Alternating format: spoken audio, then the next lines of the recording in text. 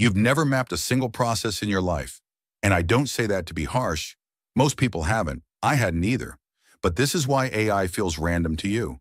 This is why you try things and they don't stick. This is why automation sounds cool in theory, but nothing you build actually works the way you imagine. You're automating chaos. Let me explain what I mean. A process is a sequence of steps. It's this happens, then this happens, then this happens. It's how work actually gets done, whether that's in your job, your side project, your business, whatever. Most people have never written that down. They've never looked at their work and said, okay, what are the actual steps here? Where does information come from? Where does it go?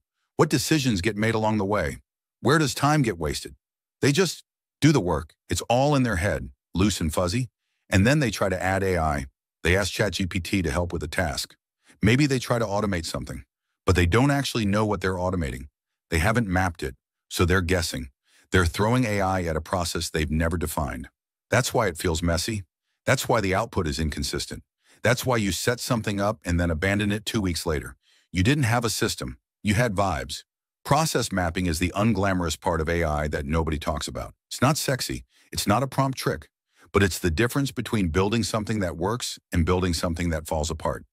Before you add AI to anything, you need to see the process clearly.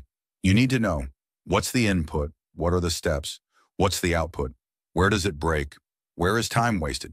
Once you see that, AI becomes obvious. You know exactly where it fits. You're not guessing anymore. There's a way to fix this. It starts with understanding what you're actually building before you build it. That's the part most people skip, and that's why most people stay stuck.